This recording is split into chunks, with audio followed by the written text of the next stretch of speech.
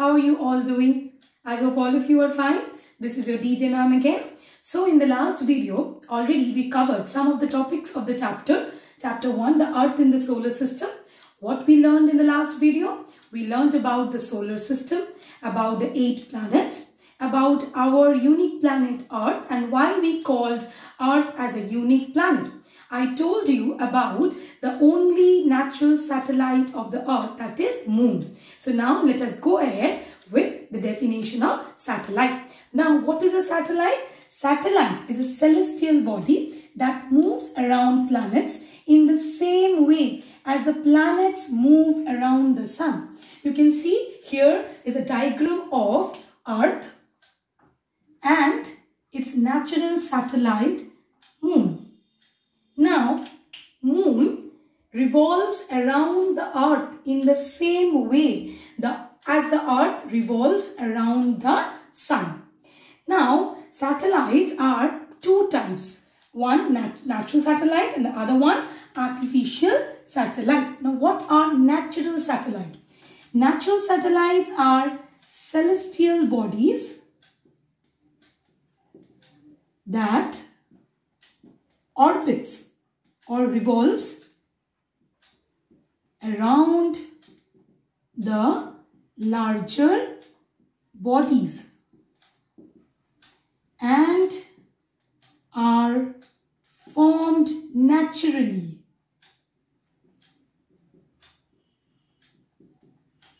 What are artificial satellites then? Artificial satellites are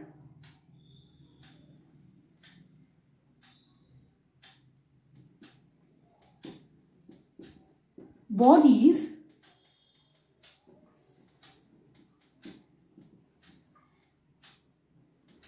that are designed by scientists. So we can say that natural satellites are actually formed naturally and artificial satellites are not formed naturally. They are formed by the human beings that they are formed by the scientists. So natural satellites are not controlled by humans. But artificial satellites are controlled by humans.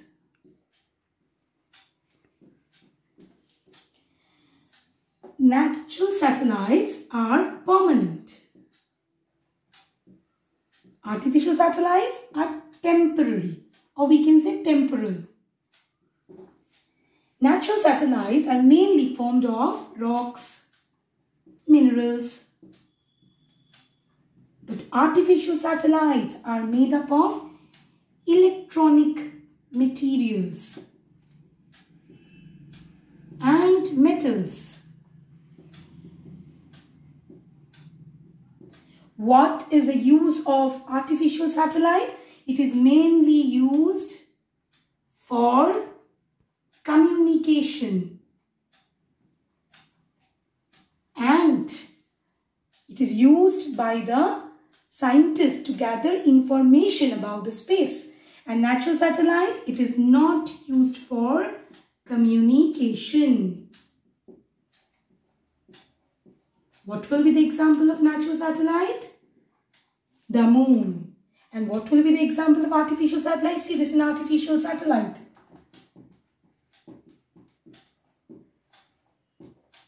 Like INSAT, Aryabhatta, Sputnik, all these are examples of artificial satellite. Now let us go ahead with the natural satellite of our earth. That is moon. So I hope so you people understood the definition of satellite and how natural satellite and artificial satellite differ from each other. So now let us move.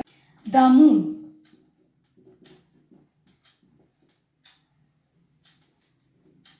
It is the only natural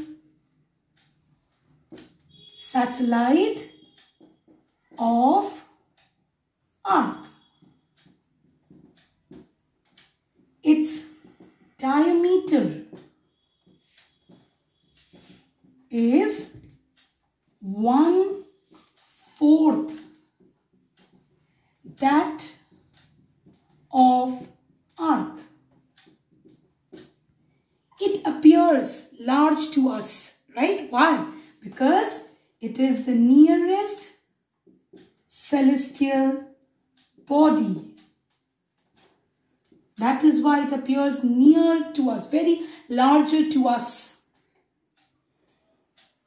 It is only 3,84,000 kilometer away from the earth.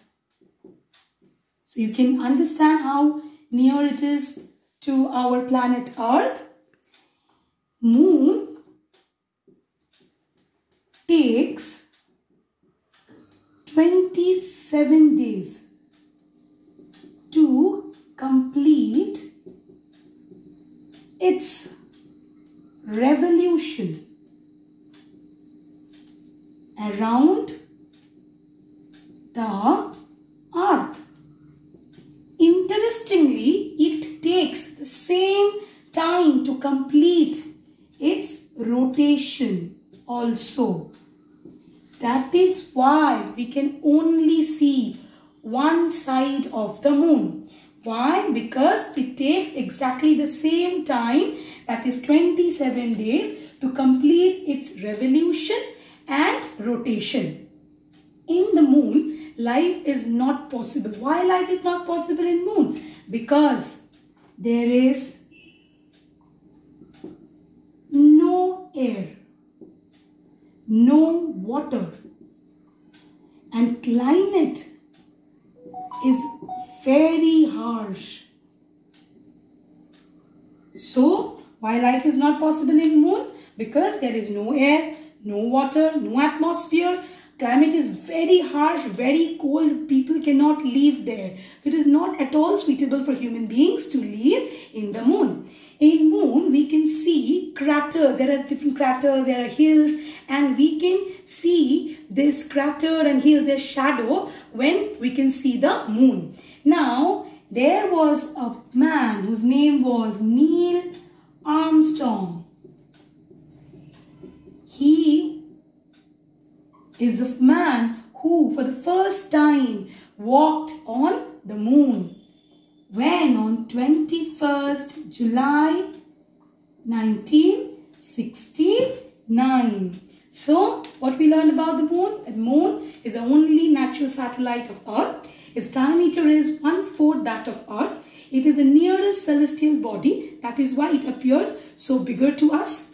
It is only 3,84,000 kilometer away from the Earth and it takes exactly the same time to complete its revolution and rotation that is 27 days. And there is no air, water, climate is very harsh. That is why human beings cannot live in the moon. Now you people may have noticed different shapes, different sizes of moon, right? That we call phases of moon. What we call them? Phases of moon. Like someday you can see a full moon like this. We call it as what? When we, when we can see the full moon during the Purnima, right? We call it full moon. Sometimes full moon is not visible. We call it new moon. Sometimes we can see only one third of the moon like this Sometimes we can see just a sickle like this. That is, we call it as a crescent moon. What we call it? Crescent moon. So, we can see different shape, different sizes of moon in the night sky. So, now let us move ahead with two more interesting terms that are asteroids and meteoroids.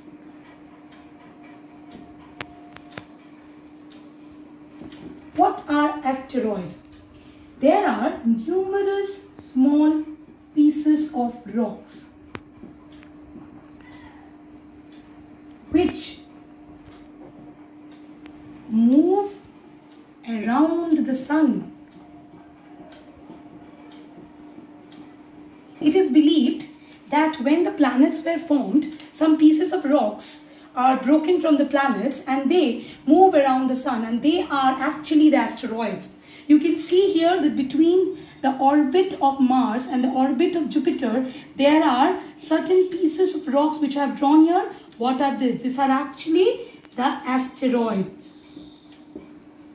So the asteroids are the small pieces of rocks which move around the sun and where they are found between the orbit of Mars and the orbit of Jupiter. Now let us move ahead with the very interesting term meteoroids. Now what are meteoroids? Meteoroids are again small pieces of rock. They are also small pieces of rocks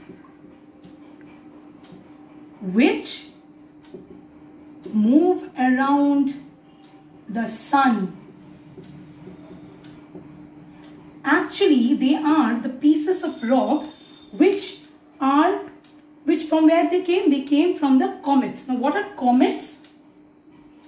Comets are certain debris. That means pieces of rocks which are actually formed of ice. Then you will find their dust and different gases which form the comet. Uh, mainly we, we call it as Halley's comet. When it comes, it comes like this, like it got a tail got a tail. After every 76 years, we can actually see a comet. It is estimated that this year, in May 23rd, we may see a comet. Now, so meteoroids are actually parts of comet. Now, meteoroids mean the small pieces of rocks which move around the sun. Now, when the meteoroids try to enter the sun, what happens? Try to enter the surface of our earth. What happens? Due to the friction, they get burned. Now, when they try to enter due to friction, when they burn, they enter like a shooting star and we call it a meteor. Now, after getting burnt and after entering the Earth's atmosphere, after landing to the Earth's atmosphere, they became a meteoroid. And when they enter the surface of the earth, they create a hollow. What they create? They create a hollow. So what are meteoroids? Small pieces of rocks which move around the sun. When it tries to enter the earth's surface, because of the friction, because in the earth there is friction, due to friction it gets burned and when it tries to enter, it is, it is like a shooting star. We call it as a meteor. Now as it enters the land surface of the earth, it becomes a meteorite and it creates a hollow. Now we understood what are asteroids and what are meteoroids and what are comets. Let us move ahead to galaxy. What are galaxy? A system of billions of stars, clouds of gases, dust. It includes our solar system. We live in the Milky Way galaxy. We also call it as Akash Ganga. So, in a galaxy, we can see millions of stars, clouds of gases, dust, and solar system. And which galaxy we live in? The Milky Way galaxy or Akash Ganga. Do you know which is the nearest galaxy? Who is, who is our actually neighbor galaxy? Andromeda galaxy.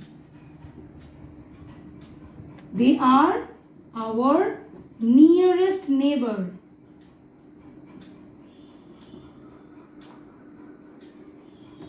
Now, these galaxies, millions of galaxies, what they form? Millions of galaxies.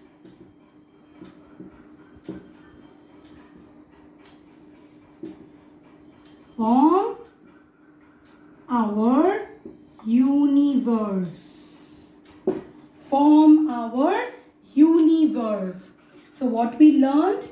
Asteroids, meteoroids, comets, universe, galaxy, Then about the moon, what are satellites, what are natural satellites, what are man-made satellites. Now, who are astronomers? We learned so many topics about the celestial bodies. We learned about moon, earth, planet, so many things, right? Who are astronomers? Astronomers are the one who actually study about all the celestial bodies that can be seen in the sky, that, that can be seen in the space. So they are the one who studies about the planets, about the uh, natural satellites, about the solar system, everything. They are called the astronomers. So with this, we are actually completing the chapter. I already explained you the very first topic of the chapter that what are celestial bodies, what is a star, what is a planet. I hope so you people can differentiate now between a star and a planet. What are constellation? Did you saw Saptarishi? I hope so you people really easily can locate Saptarishi. What is a pole star? Why do we need a pole star? Then what is a solar system? The sun, the head of the family then we learned about the Earth, the different planets of the solar system, what are dwarf planets, asteroid, meteoroids, moon, satellites, natural satellites, man-made satellites, galaxy, then comets, astronomers, universe. With this, we are actually completing the chapter. So, I hope so you people understood the chapter. I hope so you understood the videos. Uh, for time being, I'm signing off. Still, if you have any problem, you can ask your queries in the group or you can directly contact me. Thank you.